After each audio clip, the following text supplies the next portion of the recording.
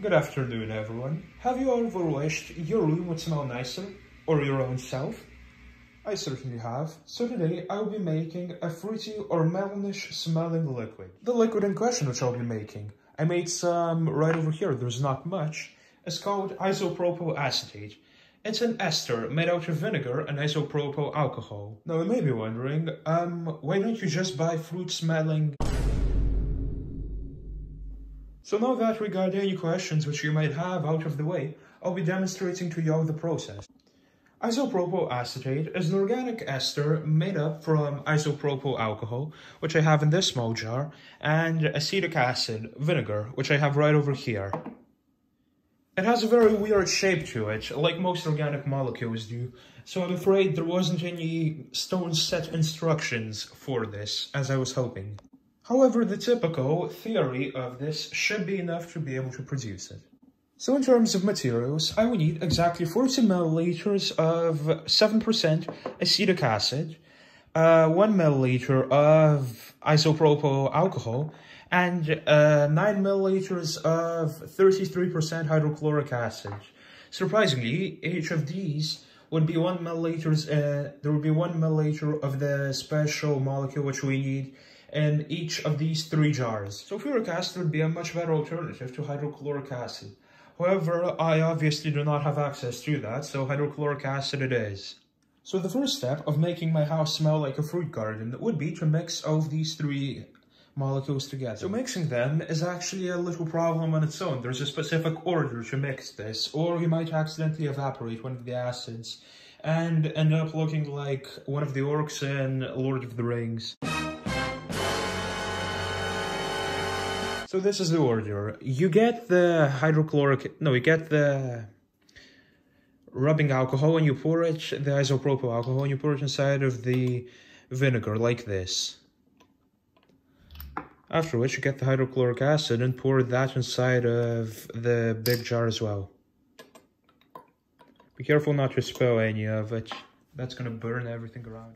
Now just cork it and you are done for the mixing part. Now we need to do everything else. So the next step of this would be to heat this up to roughly 60 to 110 degrees. The textbook only says 60 degrees, however Google says other words, and I'd much rather prefer Google over any textbook. Now here you just can't leave this overnight, but a little heat never hurts anyone in organic chemistry. It speeds up reactions.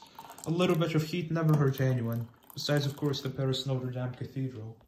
So I'll now give it a hot water bath by placing it in this cup with very hot water. If I get a thermometer in here. Yeah, 66 degrees, 67 nearly. We need to maintain it at this temperature for a few hours. Theoretically, you can leave it cold overnight or for a few hours, but it's always better for it to be hot. Before I forget, yeah, I would recommend uh, opening the cork before you pour the hot, boiling hot water inside of it and then you put the cork on top of it afterwards. Because the last time I did, this thing completely blew up and the cork hit me square in the forehead. Because physics, you know, gases expand when heated. Now it should be safe to keep like this. So I have left this thing sitting here for a few hours while heating up the water inside of it occasionally. I also then left it overnight, you know, for additional effects as you need very certain conditions for the process to be reversed, so no harm in keeping it for a little longer. You can see that after the long wait, the liquid inside of it looks absolutely the same as it was. Oh, that's no surprise. It's supposed to look this way. But I was kind of hoping it would become green or begin glowing or something. That would be cool. But no, uh, jokes aside, scientifically it should look exactly like it Anyway, so we now managed to successfully esterize ethyl acetate. I refuse to call it by its IUPAC name, as that name is very weird. But here we have a few milligrams of it dissolved inside of this water and everything else. Now for a test, I'll bring this up, open this and take a sniff. oh, it's a strong odor. It smells kind of sweet, but it still does reek of vinegar.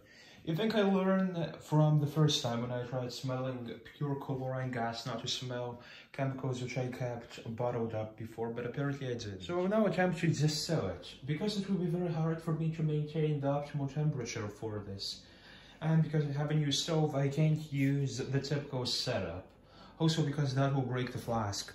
So what I'll have to do is I'll have to pour nearly boiling water into this cup and put this thing inside. So in hopes that the liquid inside will heat up to like 90 degrees or so and all of the isopropyl acetate which boils at 89 degrees will evaporate. 90 or above.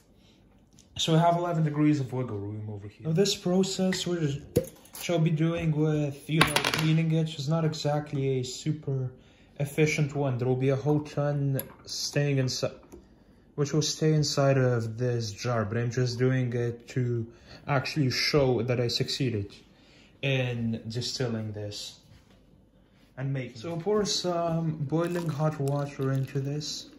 Hope the flask doesn't absolutely shatter. And we will then see if there's any water dripping on the other side. Pour some coolant into it. So this jar is expected is not filling up with anything because of the terrible setup which I have. Like, for example, it's probably already below 89 degrees. Yeah, 70 degrees or so. I'll need to repeat this process a lot with new water constantly for this thing to have much effect. I'm only expecting like a drop or two inside of this thing as it is. I didn't manage to get much of it. I only got roughly a drop of it. It's very hard to see. But it behaves differently from water. For example, if I try to uh, both move them downwards, the isopropyl acetate actually flows or the water stays on top. They have different physical properties, which does prove that I managed to get it. However, I didn't manage to extract a lot of it via distillation, so most of the isopropyl acetate is still in here. Uh, it reeks very hard. The whole room smells like a fruit, basically. So I managed to get this bottle of water mixed with isopropyl acetate. The hydrochloric acid which was inside of it already evaporated with the distillation. This hydrochloric acid evaporates extremely easily. So this bottle should only contain mostly vinegar, a little bit of rubbing alcohol, and a bit of isopropyl acetate. It smells very fruity, like a melon right now. So, now then, as I don't quite have any attractive girl to give this as a perfume to, I will do one thing to it, which is very typical of me.